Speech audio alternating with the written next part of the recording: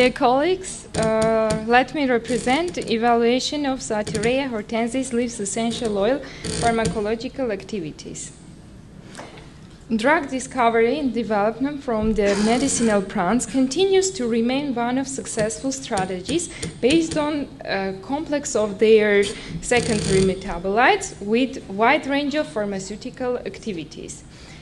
In view of this, medicinal plants are of particular importance for the treatment of pathologies with polyvalent etiology, uh, with uh, simultaneous exposure of multiple targets.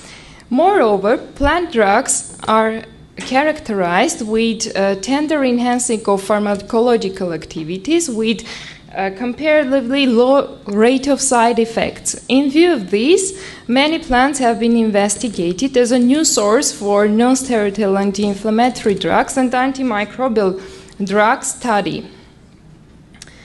Uh, many plants has, uh, have uh, anti-inflammatory and anti-nociceptive activities due to their active components such as alkaloid, essential oil, and uh, flavonoids. Uh, the presented study aimed to investigate anti-inflammatory, anti-nociceptive, and antimicrobial activities of Armenian flora Satureja hortensis leaves essential oil.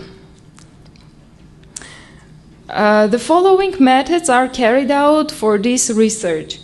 The essential oil was obtained during plant flavoring period by Ginsburg uh, steam distillation method. Chemical analysis of this essential oil was verified by GCMS method. The anti-inflammatory of the essential oil was carried out by uh, xylene-induced ear edema method with morphological evaluation. The anti-nociceptive activity was carried out with um, tail flick test by means of analgesimeter apparatus. Uh, the wound healing activity was carried out in planimetry method, um, pH detection, and antimicrobial study. statistical evaluation was carried out by means of students' T criteria. Thus, according to our results, from the GCMS methods, gamma uh, terpinene and carvacrol has been found out to be main components of the essential oil. According to the literature data, uh, they have anti-inflammatory, anti-nociceptive, and antimicrobial activities. The anti-inflammatory activity was carried out by using xylene-induced ear edema method. Edema was induced in each uh, rat by applying xylene to the anterior and posterior surfaces of the right ear. Rats were pretreated with 20, 50, 100 milligram kilogram of essential oil 30 minutes before initiation of inflammation. Uh, evaluation of the inflammation was carried out by uh, mass differences between right and left ears. Uh, th thus, data shown that uh, our essential oil has anti-inflammatory activity and it has dose-dependent character. Thus, uh, in the control group of animals, mass differences between right and left ears was about 88 milligrams, uh, after injection of 20 milligrams of essential oil, mass differences between right and left ears decreases up to 43 milligrams, which prevents edema by 50%. Further dose enhancement decreases anti-inflammatory activity. At the 50 and 100 milligram of kilogram essential oil, mass differences were correspondingly 55 and 68 milligram, which reduce edema by 37 and 22 percent. Uh, this data was evaluated by uh, morphological changes in uh, rat ear dermal tissue.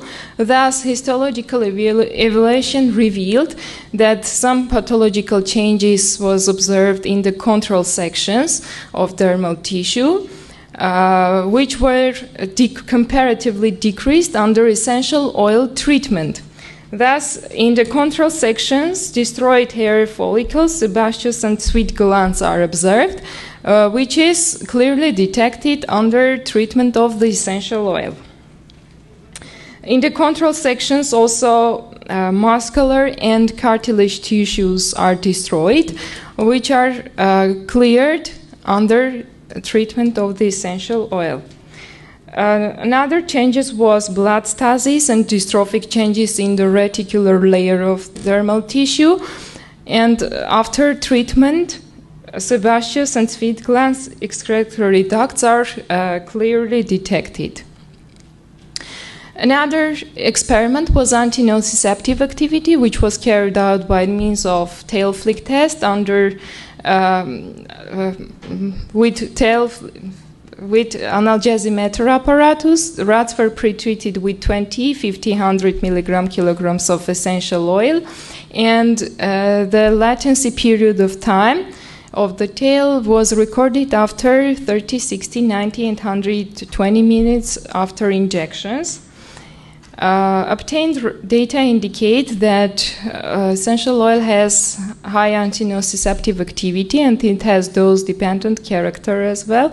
Uh, the maximum uh, highest activity was recorded at 50 milligram kilograms, reaching its maximum effect up to 62 percent. This uh, activity also was confirmed by measuring percent of maximal possible effect. According to literature data, uh, compounds with predominantly central antinociceptive activity was carried out in this test. And uh, according to this, we compared with acetaminophen, and uh, results indicate that uh, essential oil antinociceptive activity not only uh, comparable, even exceeds the effect. Based on anti-inflammatory and antinociceptive activity of the mentioned oil, it was uh, interesting to find out wound, re wound, regeneration ability of the oil. It was carried out under thermal burn. Rats were uh, briefly anesthetized with ether dorsal skin was prepared by removing the hair, and hot stainless steel plates were put on the back of animals, and the ointment of the essential oil was uh, treated also with vehicle. And uh, uh, after three days interval, it was measured the wound sizes, also for uh, explanation of the wound mechanism, uh, regeneration ability, pH detection and antimicrobial study has been carried out.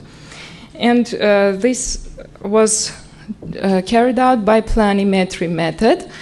Uh, so we can see after three days intervals, uh, we can see that wound surface is decreased, and in the third, seventh, tenth, and 14 days, it was decreased by 19, 9.9, and uh, 30, uh, 23 24% correspondingly compared to the control group.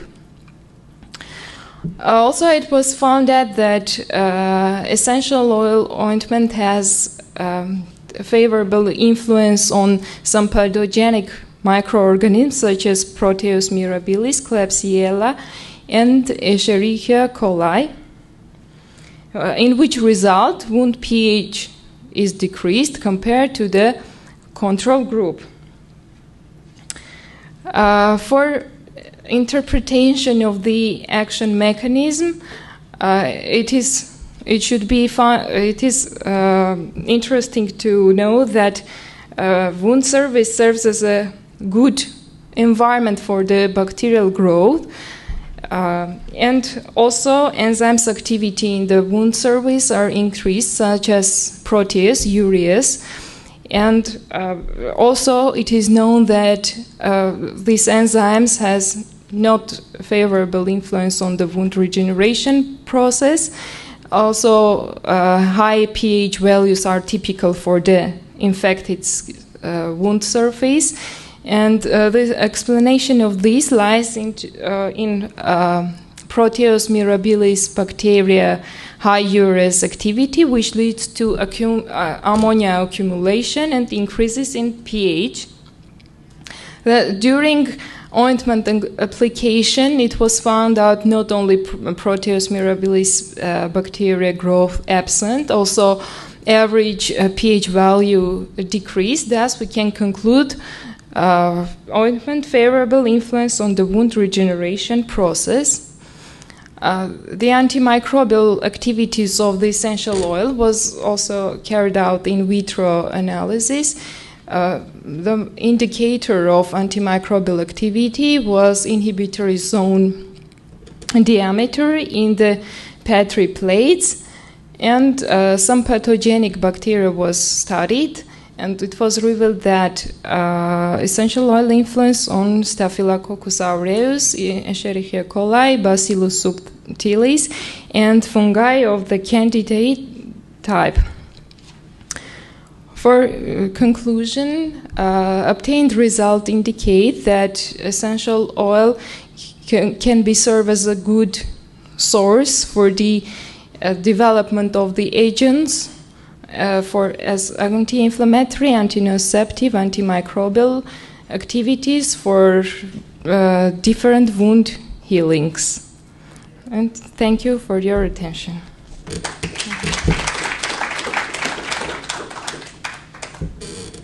We have a few minutes for questions. Maybe let me start out with a quick question. Like uh, early on, you showed one of the uh, the graphs um, for the anti-inflammatory activity, and maybe I saw it wrong, but you have an inverse dose response. Is that correct? Uh, sorry? Were the activities better at the lower dose compared to the higher dose? Yes. So, do you have an explanation for why that could happen? Uh, explanation, uh, I think, lies in that small doses it has low irritating ability than in higher doses because we know that essential oils in high doses they can cause irritation and it can influence uh, negatively on the uh, anti-inflammatory activity. So were you able to go down even lower and find more efficacy? And uh, we haven't tried to go down yet. Yes, but uh, according to literature data, uh, I haven't found lower than 20 milligrams, even uh, 10 milligrams about, but not lower.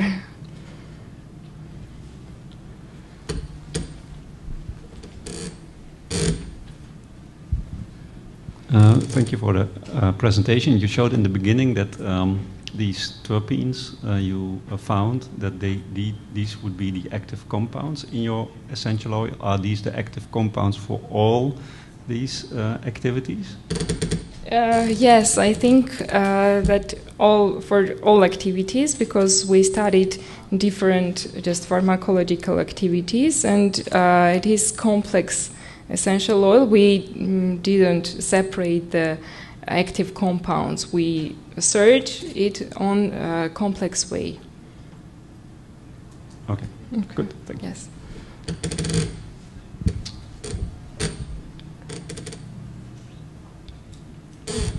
Uh, just a quick question. Uh, have you compared this compound with other uh, many uh, those natural compounds? Uh, many have anti-inflammatory functions. in terms of you know how potent they are, have you do some comparison? no, we didn't have some comparison because um, just mm, I haven't found the compound which I can compare with it as an etalon compound, like standard compound, uh, because there are a lot of plants, a lot of compounds which show anti-inflammatory activity. Thus, uh, the choice of which compound to compare, it's not uh, so clear yet. Any additional questions? Okay, if not, let's uh, thank speak. Oh, but one more question.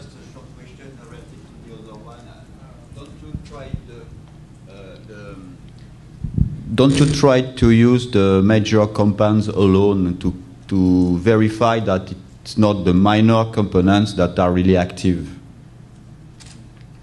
Uh, you mean uh, separate? I, I, guess the, the, the phenol uh, or the, the yes. terpene should be available commercially in a pure form.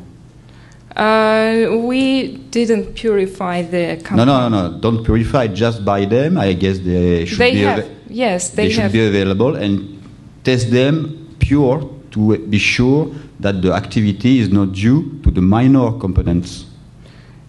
ah, okay, yes. Uh, It's remark.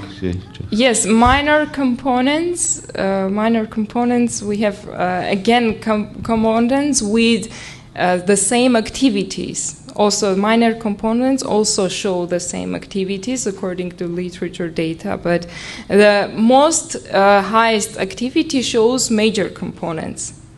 Yes. Okay, with that, let's uh, thank our speaker again for a great talk. Okay.